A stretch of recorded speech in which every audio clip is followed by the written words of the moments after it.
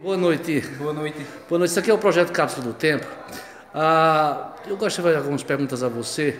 Primeiro, a, a Gutenberg, eu já sei, você já se conheço, mas como é teu nome todo, meu querido? Meu nome é Gutenberg Santos Bezerra. Certo. Ó, meu querido, me diz uma coisa.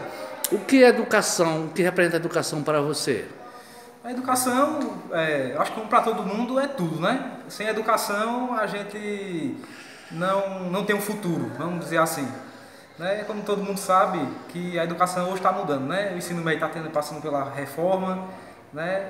E é isso aí. Uhum.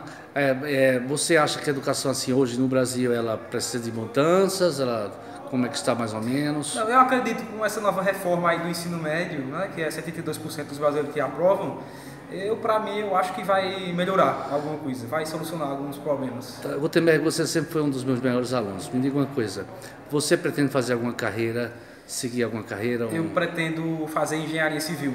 Muito bom, muito bom. Engenharia civil. É, é, o, o Gutenberg, me diga uma coisa, como é que você se imagina é, vendo esse vídeo daqui a 20, 25, 30 anos, na sua vida profissional, na sua vida a, familiar?